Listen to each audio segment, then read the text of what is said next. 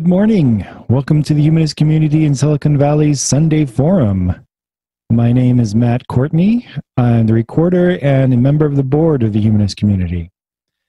The Humanist Community is a chapter of the American Humanist Association. Humanism is a reality based philosophy of life that affirms our ability and responsibility to live eth- ethical lives of personal fulfillment that aspire to the greater good. We value freedom, health, happiness, fairness, compassion, and using science and reason to acquire and apply knowledge. If these words describe your thinking, we invite you to become a member of the humanist community if you have not already done so.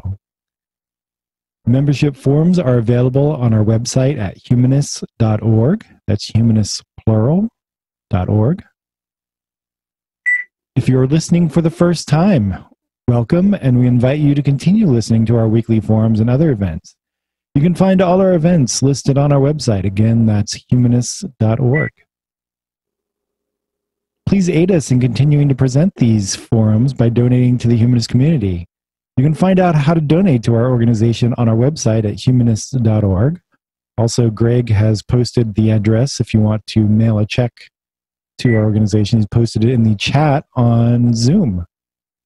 Our forum today will be on the topic Return to Ecuador, a summer of community service in my birth country, and will be presented by Lucas Danny. Hope that is correct. So let me unmute Lucas. There you go, Lucas. Oh, um, all right. I'm going to share my screen if that's fine. Go Um, for it. There we go. Okay. So, uh, my name is Lucas Daney, and uh, and last summer I went to um, Ecuador uh, with a program called Amigos, um, and uh, it was really uh, really fun experience, and I, you know, uh, it was just really great to visit the place where I was born uh, again. So yeah. Um, okay, so the reason I did Amigos was because uh, obviously I wanted to return to the country where I was born. Um, because when my parents adopted me when I was one years old from Ecuador, um, I never, we never like were, came back. So this is an opportunity for me to visit the country in which I was born. Um, so that was really special. And also, my sisters went uh, with the same program, Amigos, to uh, countries in South America. And when they came back, they were really happy and they were, you know, telling us stories about, you know, all, how, how much fun they had. Uh, so I wanted to try it out for myself and um, go to the country where I was born. So uh, it turned out to be such a great experience too. So. Okay, so Amigos is the program in which uh, I went to Ecuador, and they're like a nonprofit organization in which they bring teenagers to South America, and the teenagers volunteer to small communities, uh, and they help like with a small project. Right, the projects can be like anything. Like uh, some people like pave some place that wasn't paved before, or um, they like my sister I think painted a church or something. But um, yeah so there's like a variety of projects but they all to like support the small communities in the whatever, whichever country you go to. And uh, you know it's a great experience. It's not only do you like live in a community in the country but you also get to help out that community uh, by doing like you know kind of community service. You know it's really great. All right so for like six months before i left ecuador uh, I went through a bunch of training with my chapter, and that picture is actually my chapter. Those are all the volunteers from around Silicon Valley, and um, you know, um, so yeah, we got to.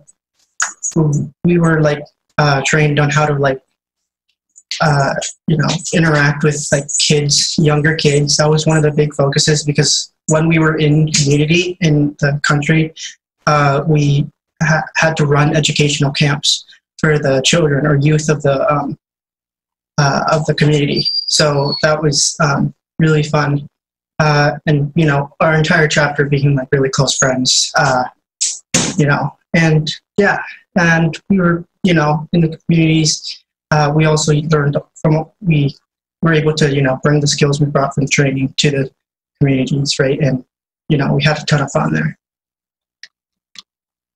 Um, what is it? So when we actually got to Ecuador, we were put through briefing, and um, uh, the, they were like the first five days in Ecuador, right? I spent six weeks there, and um, this was additional training, kind of specialized to Ecuador or wherever we were going, which is the province of, of Chimborazo in Ecuador, right? In the briefing, I got to meet all the people who were going to be in communities in the province of Chimborazo in Ecuador, and it was really fun. We made a ton of friends, and uh, by the end of briefing, uh, we were put in our routes, and each route had one supervisor that like kind of took care of the entire route, and each route had like different communities uh, in which like the volunteers went into, right? And each community could have could have either two or three participants in that community. Um, so yeah, and um, you know, I became really close friends with the people there, and it was like really great. You know, that's a picture of um, us like like in the middle. This was during midterm, I think.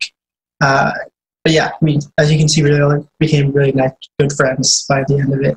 Um, so uh, in community, I had a partner called uh, named Ethan, uh, and we were assigned to a small community uh, uh, called Atapo Kiyotoro. Um, and this was a really nice community, right? They, you know, the community of like 400 people, so everybody knew each other, and you know, so we got there and we were assigned a host family, uh, or and yeah, so when we went there, um, we planned a bunch of educational classes for the kids in the community. Um, and each day we would, you know, go down to the school and um, teach a class um, on, you know, educational class to the kids. And then we would go and have lunch with our host family. And then we'd come back to the school. And by then, like all the kids were out of school and they would just love like playing soccer or cards with us, right? And we usually played a lot of soccer, but when it was raining, which it rained a ton there, uh, we would go inside like one of the classrooms that the school set apart for us and uh, play uh, cards there, you know. And, you know, I got to know all the kids there. It was really, really fun to, you know, see them. They were all really nice and, you know, interested in what, you know, things, how were things were back in the US, right? And then I would like ask them, they would like show me different parts of the school and like tell tell us stories about it. It was really great, you know. And then one other thing about my community was that it was kind of a valley community. So like the school was at the center of the community, and that was like down in a valley, and then everybody else lived like kind of in a fan out from that. So people lived like at the top of a hill, and then you would have to walk all the way down to go to um, to go to the school, right? And my host, uh, my first host family had they lived at the very very top of the hill, and then we would have to walk down. It was like a mile or so. It was just really really interesting. So you know, it was I got a lot of exercise while doing it, but um, yeah. All right, so for our project in community, we um, we had a bit of a hard time uh, in the beginning uh, when we got there, we asked the, um, you know, we asked a kind of a board of people that they were having a meeting like in the school, and we asked them what they wanted. And then at first they wanted to, you know, pave the um, pave the the school or something, right? Like there was a dirt patch and they wanted to pave it, and then for some reason that idea fell through. But um, you know, but and then after we had a ton of like meetings with the president of the community and stuff, and uh, we finally came to the conclusion that we were going to uh, put the four hundred dollars that we had as budget and put it towards a community bank um, that um, the community uh, had already established, but it was just adding funds to it, and then we were uh, so that they could like people in the community could come in and take out loans um, with like less interest, right? Right, because the the banks in like Quito or the big towns had a bunch of you know high interest, so you wouldn't have to do that. Uh, they wouldn't have to do that in this case, right? But yeah, and also one of the biggest obstacles for us was that um, the, in Ecuador, they all look a majority of people speak the language of Quechua, which is um, it's their native native language, right? And so it was kind of hard to uh, you know uh, sometimes communicate with the people because it was kind of a language barrier. Even though we knew Spanish, um, they like they would only know partial Spanish, right, and then the rest they would know Quechua. So, um, but eventually, we after many meetings, right, we finally got um, the plan, uh, the project done, and we were really proud of it. And then the entire community was really thankful uh, for the contribution. All right, uh, my host family. Um, I actually had two host families uh, during uh, my visit. My partner Ethan and I, um, during the first half, we had a, a, a single mother who was um, who like took care of us uh, for the first half before midterm, which was like two weeks in, and then um, you know uh, she by the by midterm she said oh she couldn't really take care of us anymore, um, so we had to move to a different family. But uh, in spite of that, she was really nice, and she you know she the food there was really great. She cooked some really really good food. So that's one of my favorite memories there. Was she uh, by the end of it, she was like teaching us how to cook like empanadas and stuff, and it was really fun. Um, but our second host family, um, their her, their parents weren't around as much either, but um, the, our host brothers actually were always around. So, um, and they were both like 12 and 14, but they still like were able to take care of like the entire like entire house's farm, you know, and like our host family had like a herd of sheep. They had some cows and they had some pigs too, right? And um, yeah, and our host brothers would like they would wake us up really early and be like, "Hey, let's go, you know, feed the cows," or like, "Let's go, you know, take care of the pig." Um, so yeah, they were really fun. And then there were also uh, some of the kids who were in our campamentos, or that's the educational camps that we had for the kids. So we kind of already knew them, and it was really um, fun.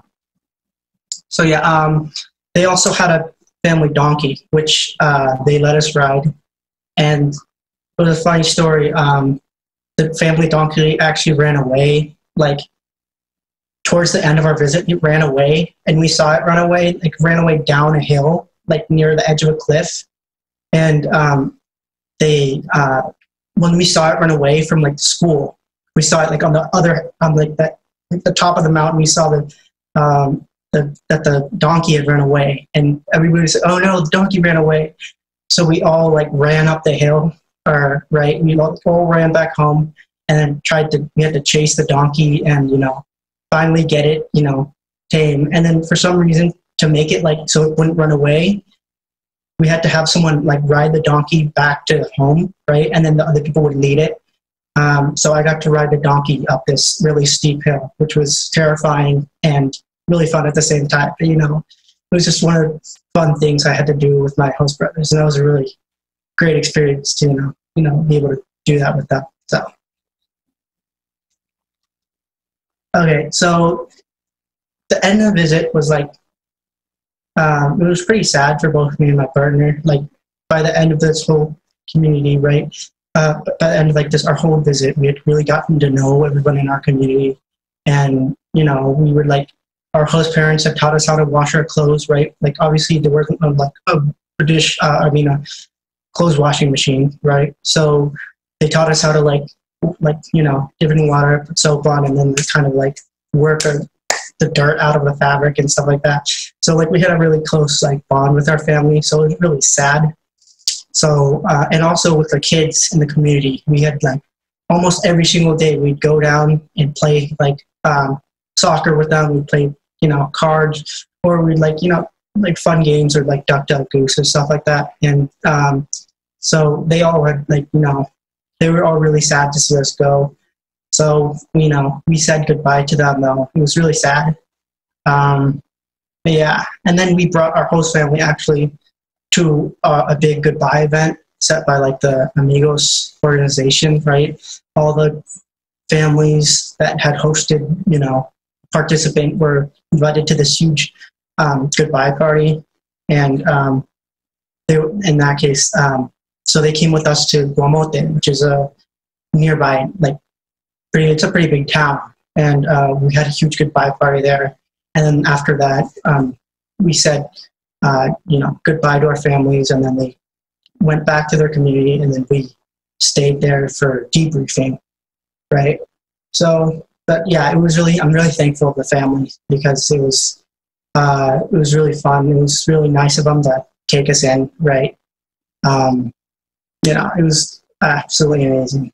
Um, so for debriefing, um, so everybody was like really sad, as you could tell, uh, because of you know they all had to say goodbye to their families and stuff. And um, so we we had a took a bus to like a different town where we were like set to have our debriefing, and um, you know we um, uh, and you know we had our we were supposed we talked about like our projects to our supervisors and you know what we could have done better or and what went wrong or like what did we do well? You know kind of a big reflection on our entire trip right? Which took like about a day. But then after that the supervisors had like a ton of fun activities planned for us you know to kind of like say oh goodbye ecuador right? Um, so uh, on our our like second day uh, of debriefing uh, we went up the volcano called Chimborazo, I think. Uh, we went up as, hard, as, far, as high as up as you could go without using oxygen equipment, which was really high and it was really cool because like, you know, it was really hard to breathe since the air was so thin and stuff like that. But yeah, that was really fun. And then the day before we left, we uh, uh, also went to the equator, which is that's the monument you see at the equator, um, which was this huge, like, you know, it was a huge deal, but it was really fun. Um, I don't know. And then um, after that, we went uh, home. Like, we flew out of Quito, like, really late at night, and we landed in Houston. Uh, and that, that, that's where we said goodbye to all the volunteers because the volunteers weren't just from Silicon Valley, they were from like everywhere uh, in the United States. There were some from like New York, right? Uh, like uh, there were some who lived in Houston. There were some people who lived like Kansas, right? And then there were some people who lived in the Bay, Area, right? So like we all said our goodbyes there and at the airport because we had all had different flights and we're flying out of different, uh, you know, terminals and stuff like that. So yeah, but yeah, it was really fun to share those experiences with not only our volunteers but our families and people in the community. So I'm, you know, I'm extremely happy that um, um, that I was able to go on this trip. You know, I was able to experience, um, you know, Ecuadorian culture, you know, firsthand. Uh, you know, I was able to like cook some of their food, right? I was taught how to cook some of their food. I was, you know, I helped like feed the cows. I heard herd the cows. Uh, and um, like the sheep, and then like you know I helped like plant a bunch of grass for the cows to eat, like and that was like really fun to do. So I think it was a huge privilege to be able to go back to the country where I was born, and you know it was extremely fun. And I'm like I'm so happy that I was able to do it because you know I I had a bunch I you know I was able to meet a bunch of new people and uh, got a lot of friends there. Um, so, and I was able. I'm glad I was able to help the community out, right? Or, you know, with the our project that we did. Uh, so yeah, I'm very thankful also to my parents who let me uh, go on this trip. Yeah, and for all those people who supported me, I'm also very thankful. Um, but yeah, um, and I also have to give a big thanks to the Humanist community because uh, without all those presentations that I gave in the family program, I probably wouldn't have been able to like stand up in front of the president of the community and like you know, help them come up with an idea that's helped their, you know, to support the community, right, with the plan about the um, the community bank. So, you know, I want to thank the Humanist community for that. But yeah, thank you. That's a picture of me and the kids riding a bicycle, and that's me wearing a hat that I found in the store. So yeah, that's it. Okay, so that's all you got? So we'll have uh, questions. Yeah, everybody's clapping, but they're all on mute. So. but if we have any questions, go ahead and raise your hand in the Zoom meeting. Let me check. Hi. So uh, we enjoyed the talk, Lucas, and we had uh, several questions. Uh, first off, what was your specific project, or what projects did you work on while you were down there? And did you get, did you get to visit the place you were born, or, or meet your birth parents? Uh, I'll address the second one first, but um, I didn't know. So I was uh, assigned to the uh, a province of Chimborazo, which isn't the province in which I was born, right? And we were like, we didn't really leave that province ever. So I no, I wasn't able to really, you know, my parents or any, or my, my real parents who I don't really know who they are, right? But um, um, I was able to, you know, experience the culture of uh, of the people in Ecuador, and I think was, you know, almost as close as I'm going to get to, you know, meeting my parents. And so, yeah. Um, and then the first question was, uh, my project was uh, funding a community bank, right? Um, I was uh, funded a community bank. Um, but we put um, $400 in their bank and uh, so that they could have more money to, you know, lend out to people who needed money, and then so people could like put bank uh, to put money in the bank, right? So that was um, really fun.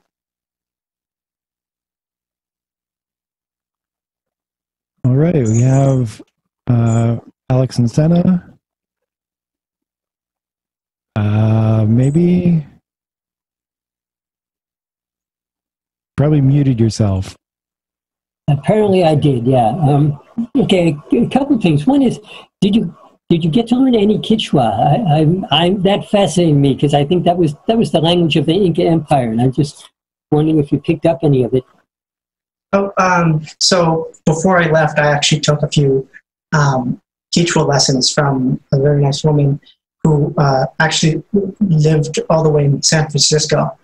Uh, so I was able to learn a little bit there uh, through my teacher before I left. But then, um, and that really impressed actually with people in Ecuador uh, because they were like, "Oh, wow, they, he actually knows a little bit of Quechua, right?" Um, and you know, I was they were really like, you know, they really appreciated that I tried to learn their language, right? And then obviously they would they would laugh whenever I messed something up, right? But like, um, yeah, and then they tried to teach me uh, a little bit too, right? So you know, I did learn a little bit, but not like enough to really string a sentence together. So, uh, so can you can you say something in Quechua just to give us a feel for it? Um, it sounds like uh, Ishmanaya Gange is, uh, I think it's high. So that you know. Oh, okay. That's the, the greeting. Yeah. Yeah, and then um, I know dog is Ashku. Ashku. And yeah, and then um, you know, I'm pretty sure that's um, trying to think of other things I could say. I, I assume you you probably had a lot of Spanish too. Yeah, yeah. I um, you know I'm fluent in Spanish, so and my partner was knew some Spanish, so we, that's like we didn't really talk much English in community. It was basically almost like 100 percent Spanish. Did, was there, there much a difference? I mean, I mean, was the Spanish they spoke there pretty much what you learned in school, or was it like, you know, London slang or something, something that, that you had to you had to adjust to?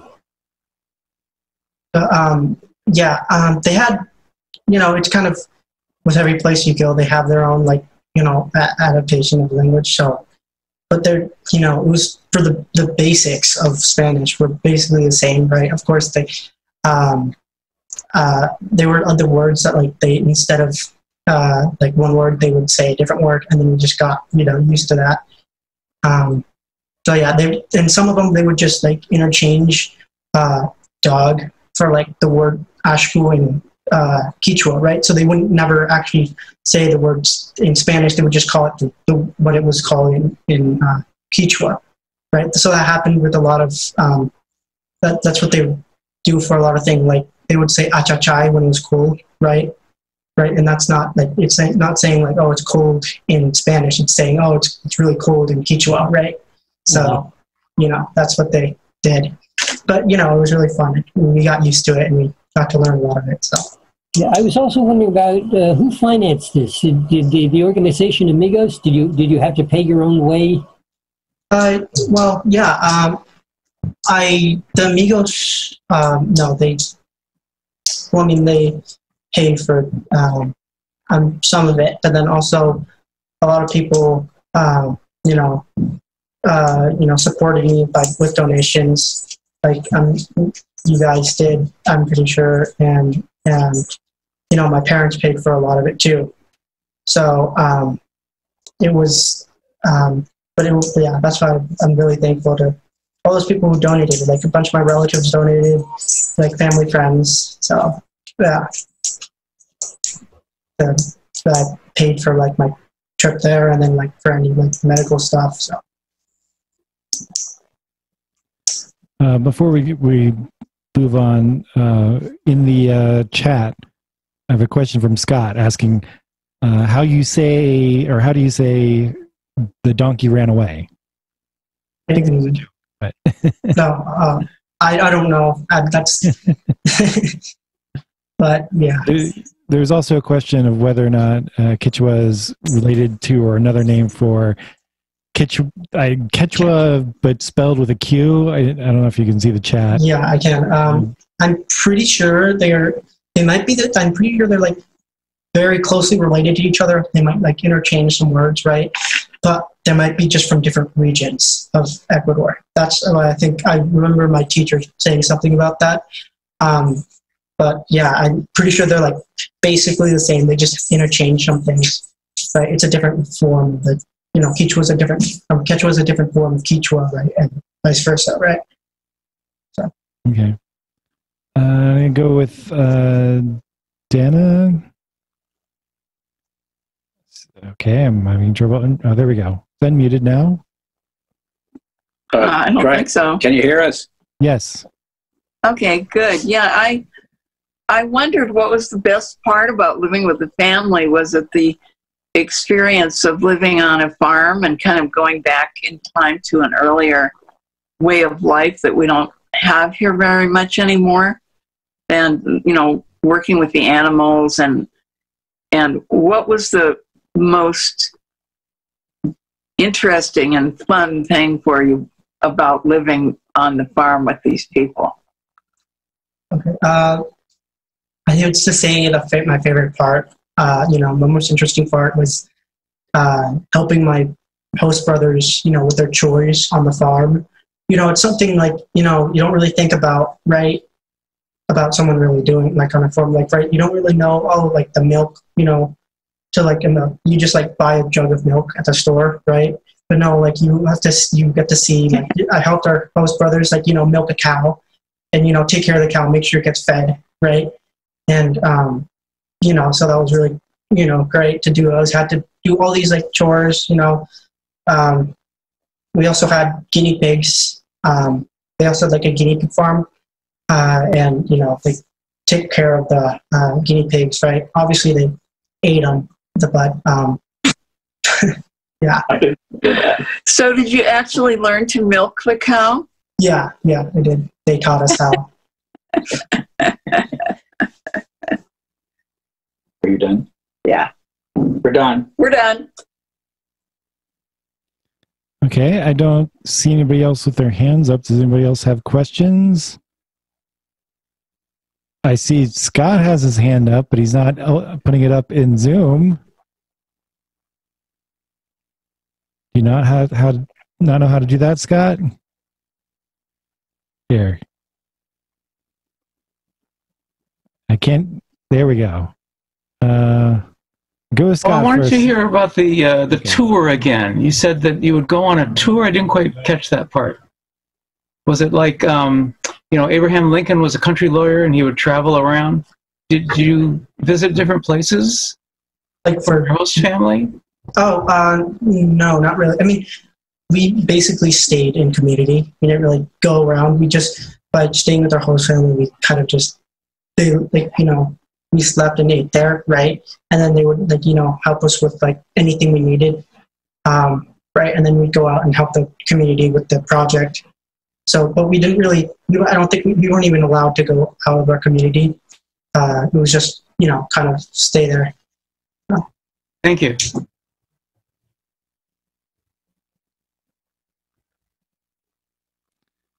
Okay, I have Senna and Alex.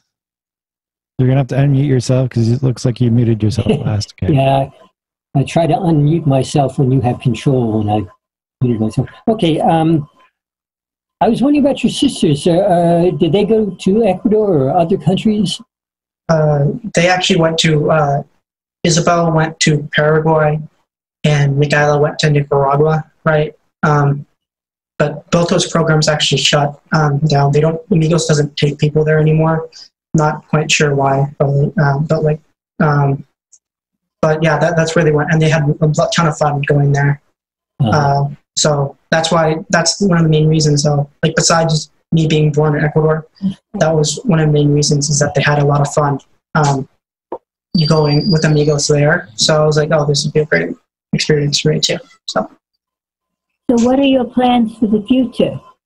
um, well, um, I really want to go back. Obviously, um, um, you know, try to go see how the community is, like, you know, see what they've been doing. Um, obviously, I'm able to, you know, a few of them had cell phones. Uh, not very many though, like just one or two people had cell phones. So I'm able to, you know, communicate a little bit with them, uh, but like not very often. But um, so I definitely want to go back again. I'm not sure exactly sure when. You know, my schedule up ahead is getting really chaotic as I'm getting ready to go to college and stuff. So, um, but I definitely do want to go back. Uh, and yeah. So, where are you going to college and what are you going to take? And what do you want to be when you grow up? so um, I I'm a so I've like I'm not even haven't even applied to colleges, but you know that's what my big next next big step is to start applying to colleges. And uh, but I really want to go to this college called Purdue in Indiana, um, and um, you know I want to uh, study there to become a uh, professional pilot. You know that you know uh, airline pilot. You know so yeah. one more thing. What do you miss most? The food, riding a donkey, climbing hills until you can't, the air is too thin to breathe. but what do I what What most? do you miss most? Oh um. Besides your friends.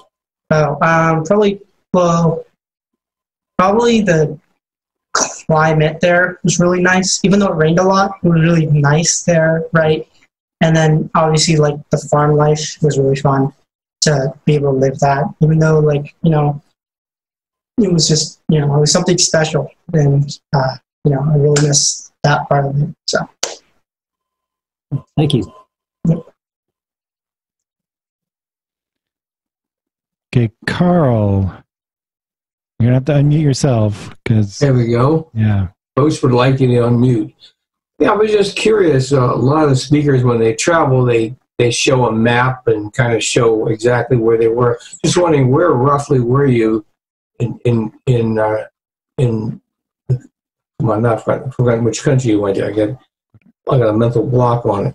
Ecuador. Yeah, and uh, I, I noticed it's there's a large percentage of the country is is mountainous. So, and we on the east, west, north, south, northeast, whatever. Where were you located? Uh, yeah, we were um, in the province of Chimborazo, which is, um, I'm pretty sure that's on the west side of um, um of Ecuador, and we were we were actually in the Andes, which is that's the mountain range that goes through um, Ecuador, right? Uh, so, and that's like that's where like you know Chimborazo. I'm pretty sure is part of um, the mountain range, and um, so yeah, we were in those those mountains. Our community was in those mountains, so yeah, and that's where we stayed. Yeah, I, I couldn't. I see a map, but I, I couldn't see um, the cut. Maybe I can't. I don't know how to translate it, but I couldn't see the particular places you mentioned on this gross map that I'm looking at. Um, there's a. I'm not sure if you can find this city, or it's a small town called Palmira, um, in the province of Chimborazo. I might be able to. That that's like the closest you can get on Google Maps to our community. Um, uh, but yeah, that Palmira is like the town that you went through to get to all the communities, and that's like where most of our um, that's uh, where most of our families went to get like food. You know, there, there was a small like market there and stuff. So great, thank you. Yep.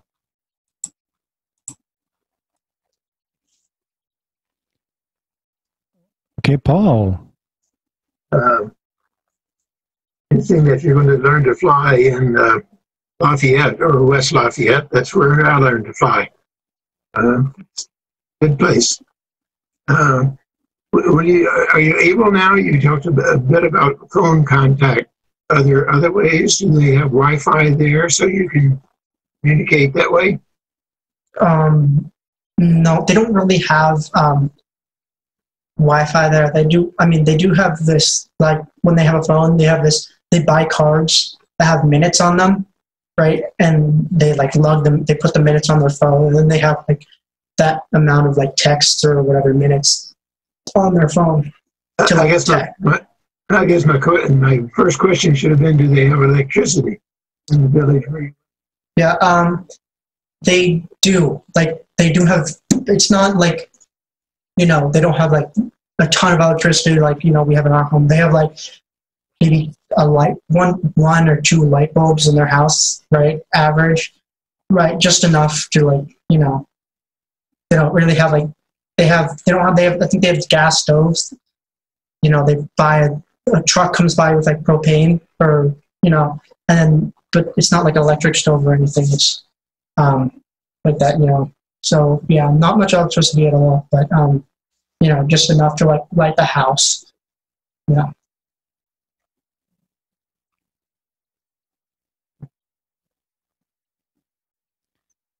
Okay, uh, Dana again, uh, but you've muted yourself, so yeah. Okay.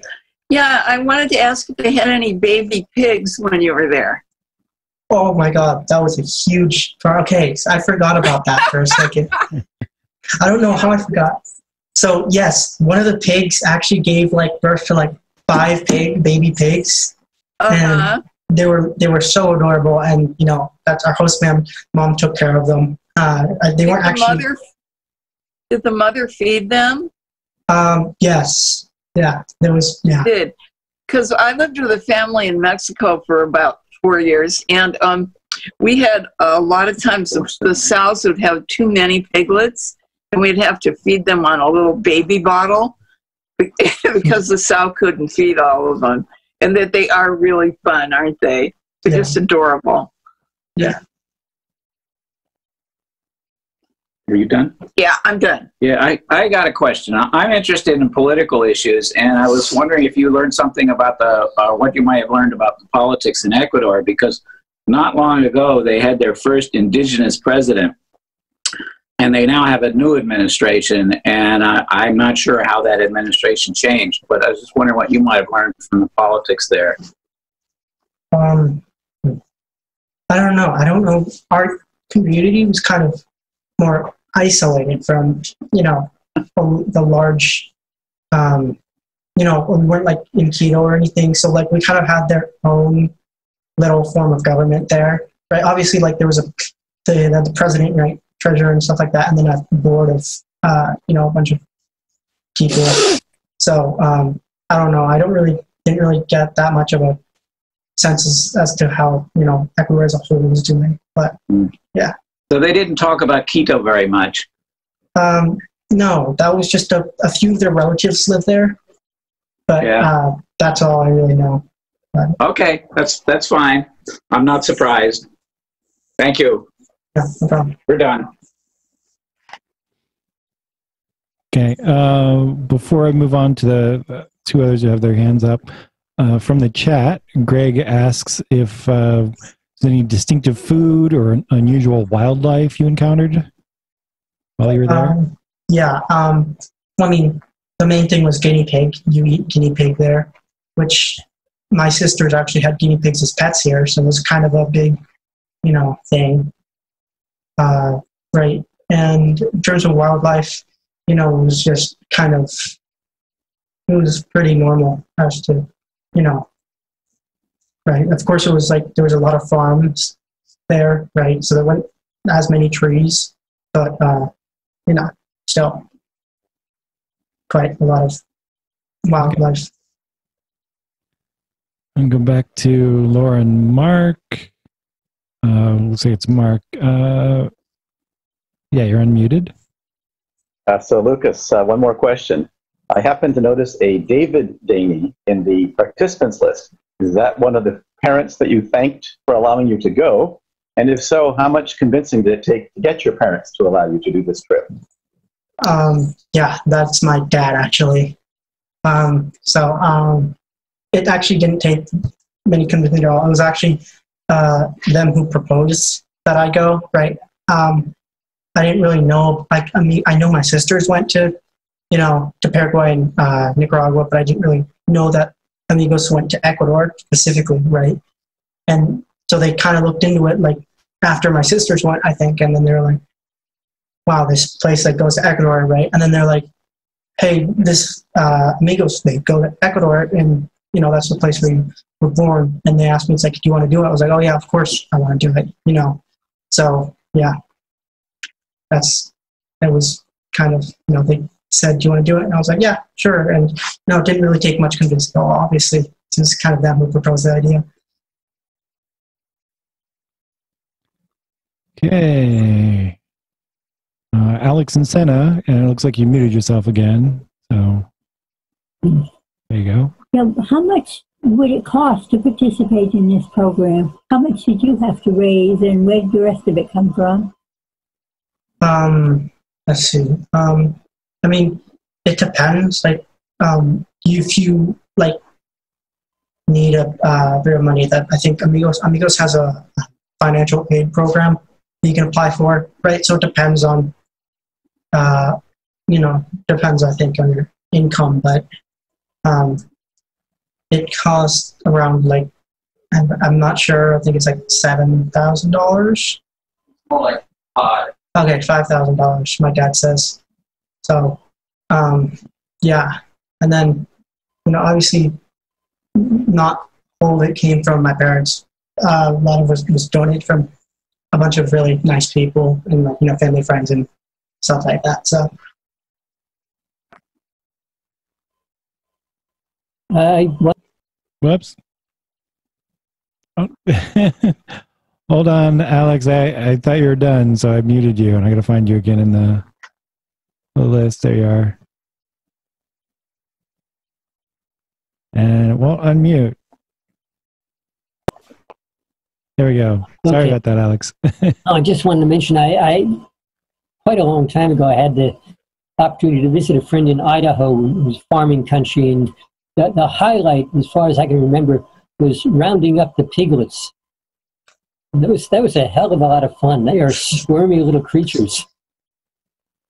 And that's all I've got to say. Really. yeah, Okay. it was. I'm good. I'm going to be. yeah, rounding, yeah, you know, the wildlife, I mean, the farm life there was really fun. You know, rounding up the sheep was also really fun, right? And then our uh, our host dog actually helped with that, except he wasn't that great at herding sheep.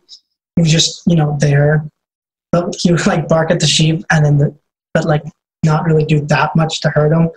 But you know, at least he tried. So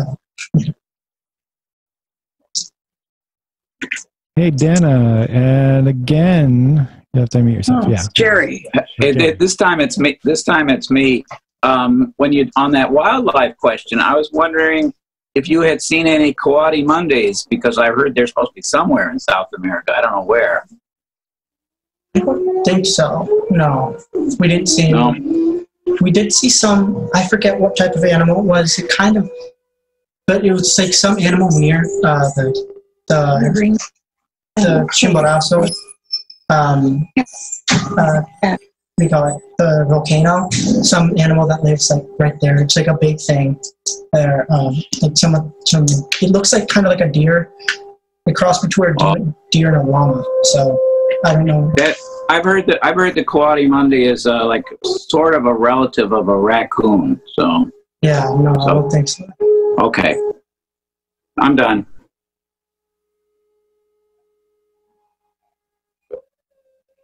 Okay. Um, I don't see any other hand. Oh, there we go. Alex and Senna. Uh, you'll have to unmute yourself again. There you go. Yeah. Well, I just wanted to say, if I could say a word uh, from the humanist community, we're all very proud of you. And uh, you and your parents were uh, a wonderful uh, part of it while you were with us in the Sunday school. And um, so that's what I've got to say. I didn't want you to leave without us expressing our our gratitude and appreciation for, for you and your family. And our pride. Is that what? Pride. And a pride in you. Yes, yes, we have that. To see what a fine young man you you have grown to be, and we we had a tiny part in that for several years. Yeah. All right. Thank you so much. That means a lot to me. So,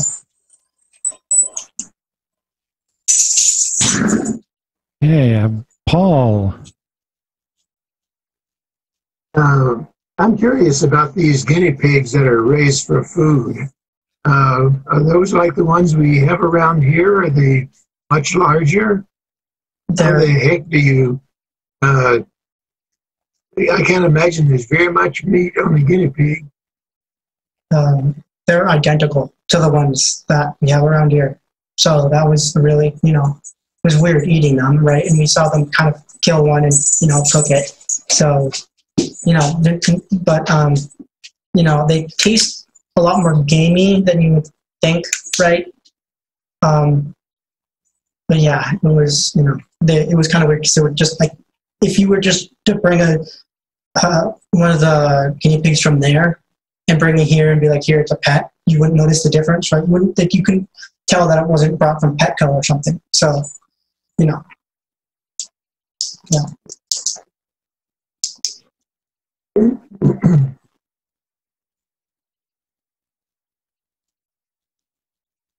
Okay. Um, I don't. Nobody else has their hand up. I think I'll go ahead and move on to open discussion. Uh, I, okay, allowed everybody to unmute themselves. It's open discuss, discussion. So, Dana, you just ask your question. It's fine. And unmute yourself. You need to unmute yourself, Dana. Uh, how about grasshoppers? Do they eat grasshoppers? No, not where, not where I was. Don't think they eat grasshoppers. I didn't see anybody eat a grasshopper. So, Uh, Do they have, do they have grasshoppers? Of course Yeah. they have grass.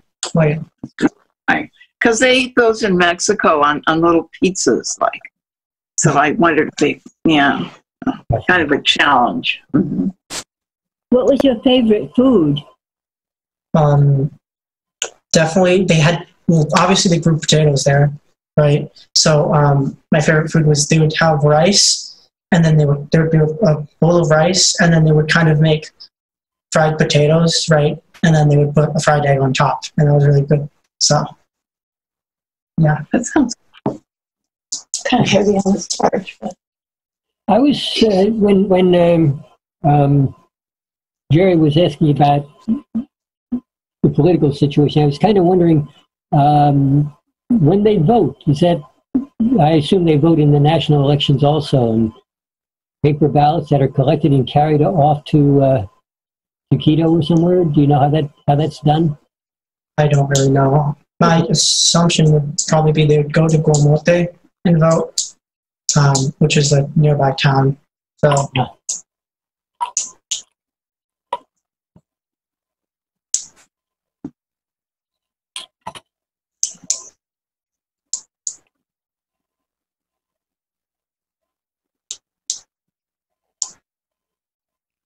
Is the program nationwide here so that uh, young people from all around the country can uh, participate in it or apply to it?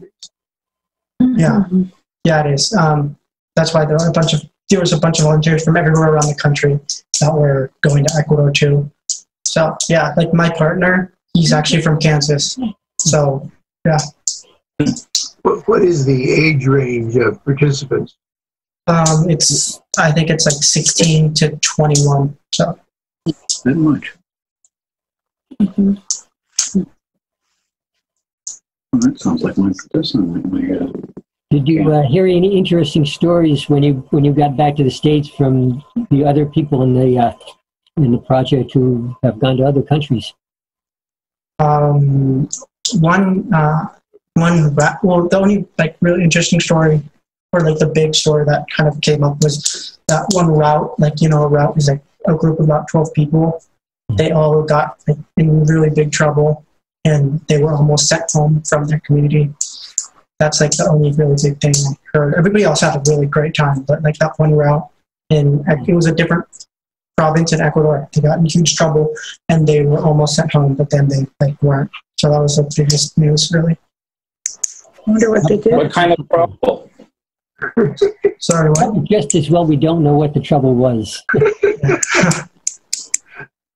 I want to know what kind of trouble. If you don't want to say, you don't have to say. I'm not. I'm pretty sure they were like all drinking or something. So I Oh. think that's what it was. Mhm. Okay. Yeah, Cur- Which was- Curious minds want to know. yeah. But that's like one of the biggest rules is don't drink at all there. So that that's why. Okay. Does the program include countries uh, other than Ecuador? Yeah, actually, there's oh, obviously there's Ecuador, Peru, um, there's Panama, um, the Dominican Republic, and Costa Rica. They don't drink, they say. I didn't catch the question. What was the ask? What was the question? Oh, it was um, what countries the um, the, the amigos held put participants in, uh, and I said, uh, no, Jerry, Jerry was still uh, on the drink. He wanted to know uh, more about the, the. Is it no drinking yeah, for all participants? Yeah. In all countries as well? Yeah, it's just like a huge thing. It's like there's like seven rules you're supposed to follow, um, but that's like one of the top ones that you're not supposed to do at all. So Do they go to France? um, it's just South America.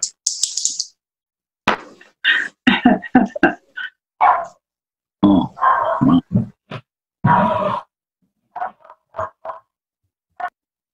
Oh, Looks like some actually native art. Yeah, yeah. There's a question in the chat uh, from Herman.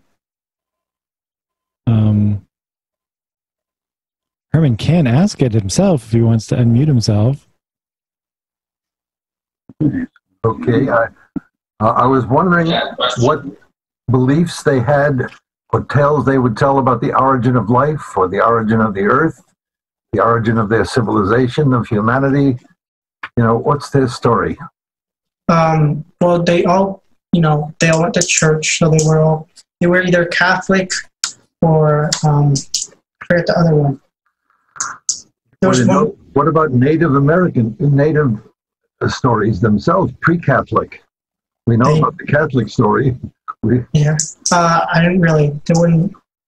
I don't know. They most most of them just were, you know, you know, strictly Catholic. I don't. They never really said anything about their past. You know, they didn't have any like old stories about like you know descendants or anything. Um, that's all I know is that they went to church and we, okay, well, we know about that part, but I'm interested more in um, nativist uh, stories about their origins. Yeah, I don't really know. So was any of it part of their daily life? Did they did they uh, have images? Uh, did they um, have Oh. have anything that was in their routine that was different than we have here? Um, Different time for meals. Also different. well, let's see. They, I mean, not really. I mean, they, they woke up, well, except for like we, they woke up really early. They went out and took care of the animals. They came back, gave us breakfast because we woke up like they would wake up at like four, and we would wake up at like six. So, um, so, so yeah. Um, and then we would go down to the um, on, if it was Sunday, we would go down to church uh, with them, and then um, but if not, we'd go down to school and do the, you know, the the camps or the educational camps for the kids. Then we'd come back up, eat lunch, then go back down and uh, you know have fun with the kids, and then that's it. Um, then we come back and have dinner, and then that's it. And, we and like work on the project after after dinner, and then we go to bed. So I'm seeing some really interesting artwork behind you on the wall, and I'm wondering if that's from Ecuador or South America. Some really nice pictures and hangings. Well, the, the, these uh, these ones right here we actually made ourselves. That, that's what Really? me and my sisters made. Yeah. And, Those are um, oh, yeah. Real, Um, really good. I'm not sure if I can. No, I can't really get that one. But How about there's the a. red one? Oh, the red I'm, one? You.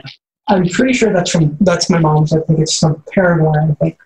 Oh, it's from- Oh, it's from Panama. Sorry, my Oh. dad just corrected me. But that's and then there's we have a really couple few really good paintings.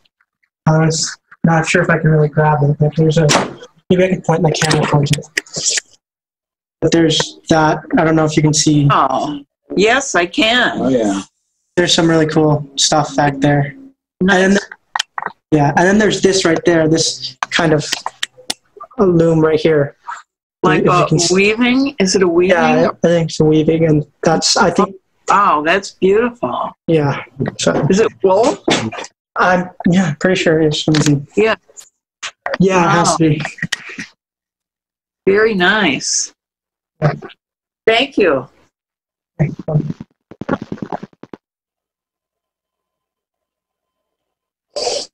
I, I would like to add uh, something else. Uh, I, I neglected to uh, mention that your older sisters were also in our program, and uh, the whole family was really remarkable, and we appreciated them.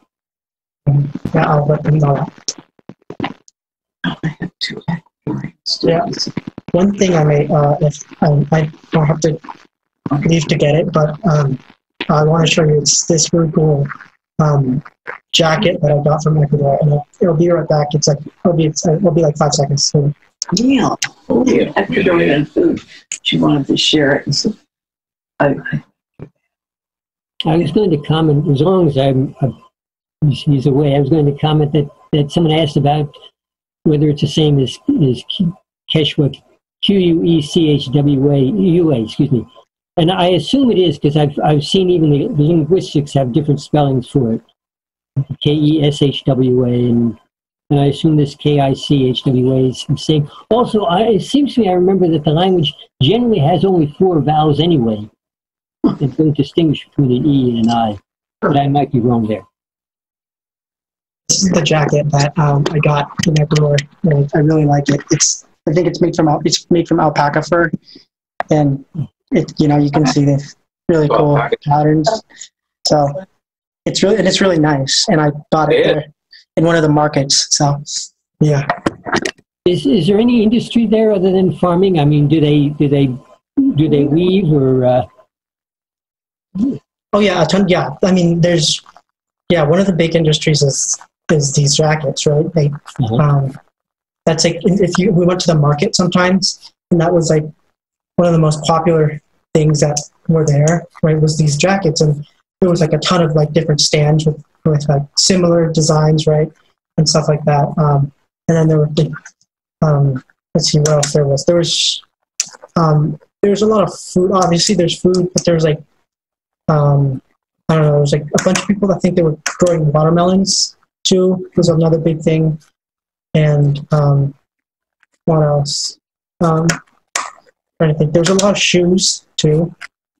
They, um, I'm not sure. Um, they, I think they, they were shoes too. What, do you have an idea what the population of the town was? Um, the my community or the town? Oh, my community. Well, both, I guess. Oh, my community was um, 400 people. So it was really, you know, everybody knew each other and stuff like that. So, uh, and then the, the, I'm not really sure about the uh, Guamote, the town where the, um, where, where the fair was, but that was a pretty big town. It was, um, I'm not sure, like, I don't know, in the thousands though. Was it within walking distance of the village? Uh, no, we had to take a, um, um, truck. They called it camioneta, right? It's a pickup truck with like a canopy on the back of it, and then you just hop in the back of the thing, like in the, in, you know, in the, what, do you call the back of the pickup truck, and then you just sit on the edge and then go, and they would like take you to the uh, town or city. What is the altitude of the community and, and the town? Oh, um, they were both around. Uh, well, I mean, the the town was our lower elevation was like something like. I'm, I'm pretty sure our our, our community was at like fourteen thousand. I'm not sure feet, but it was really really high. Um, it was really. And then my uh, the, the town was uh, low. I think a few hundred feet lower than that. So I don't know. How long did it take you to get used to the lack of oxygen?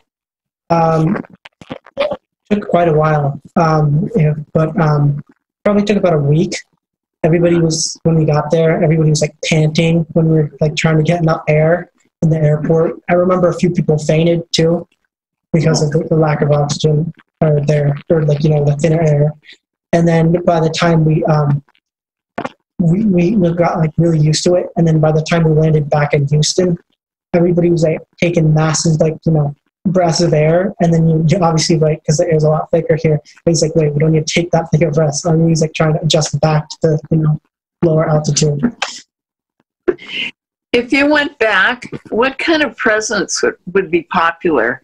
Like, wh- what kind of things do the kids ask for? Or, you know, like if you went back there on a trip and you wanted to bring some little presents along, what would you bring? Uh, definitely a lot of like books. Like I, uh, one of the presents I actually got him a present for my host brothers. It was a illustrated version of Harry Potter in Spanish. So, and um, yeah, and then like also got him a few soccer balls. So I don't know stuff like that. A lot of uh, illustrated books in Spanish, um, and um, you know a few like suffer sports, maybe like a football or like cones and stuff like that. Uh, but yeah, some you know they were really into like sports and stuff. So you know they also like volleyball, so maybe another volleyball because a lot of they sometimes use the soccer ball for volleyball, which really hurt. So yeah. Were there any any um, is there any, any literature in the native language? I imagine that the books are in Spanish. Um, well, at church, the entire church service was in Quechua. Uh-huh. Did So- write it out? Uh, well, I mean, they had a book that they were reading out of. Um, so, yeah, that's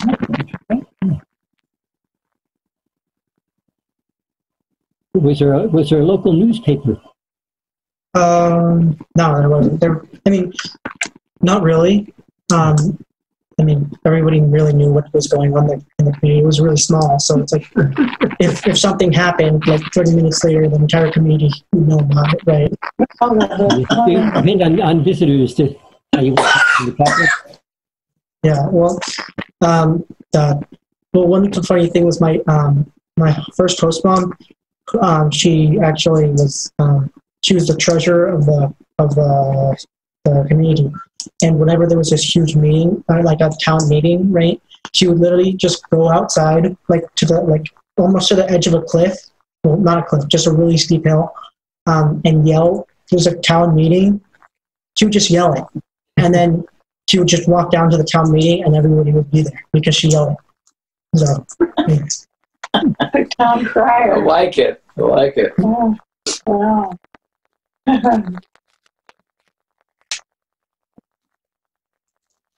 Oh, good old days. What were the uh, daytime, what, what were the uh, temperatures, typical te- temperatures while you were there? um, it was really really cold. Like at night, I had to wear. Obviously, I was wearing a shirt, a jacket, another jacket, and then a big, uh, a big uh, warm, uh, uh, what do we call this, a winter vest or a winter coat, and then I would be warm, right? And then and the days it would get like pretty hot. Like I would get sunburn. Um, right, so it was like at, in the like in the day I would just wear I could wear like a t-shirt. At, at night it would drop like it would get really cold, right? So I would have to wear all this stuff and then go in my sleeping bag, and then I'll be really warm. So yeah,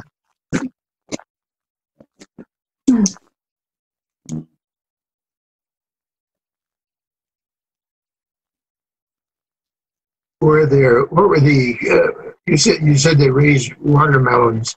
Were there other commercial uh, uh, crops? uh, definitely potatoes. Um, I think they also they also grew. Uh, I'm pretty they grew carrots. Um, and trying to think what else. I'm pretty sure, but their main thing was potatoes. They would grow sometimes, um, not for commerce. They would just grow grass for um, for what do you call it? Uh, for the cows. But that's it. It was like it was literally like almost all of it was potatoes. Uh, and then they would buy rice from like the, the town uh, nearby, Bellote, and then uh, they also wanted the eggs, right? They would sell eggs, the eggs that their chickens had, um, and then they would also sell them, sell them. So were there fruits and vegetables uh, besides potatoes? Well, yeah, they um, but they mostly got those from uh, from the town, right? They would get um, uh, they would get mangoes uh, and um, I'm pretty sure mangoes and uh, bananas. So Did um, any people there use coca leaves to help them with the altitude? Coca? Chewing coca? no, no. Although that is, remember at the uh, equator, we saw that they have uh, they showed they showed us how like um, chocolate was made, right? So they had like cocoa leaves, and um, um, they showed like, oh, this is how we like take out the, you know, that's all the. They, they didn't like chew on coca thing. They have, um, they did. I one time got a headache, and I don't know what kind of um, leaf my host mother used, but she like rolled something up in a warm towel, in a, like a towel with like warm and soaked it in warm water, and then put it on my head, and then uh, told me to lie down. So I'm not sure what kind of leaf she used, but yeah. Uh huh. Okay, because, yeah. You know, they put ground up marijuana paste, the arthritic knees. Oh, man. You know, one of the cattle I got that I was thinking of both. of them. I believe you said you would like to go, you would be- like to participate in the program again? Um, I mean, I if I could, I would. I mean, not saying that I can't, but I, um, I just feel like I don't really have time anymore to do it. Um, I mean, I'm I'm getting ready, you know, obviously to start doing um, um, you know, applying for college, and then uh, really want to get a job somewhere.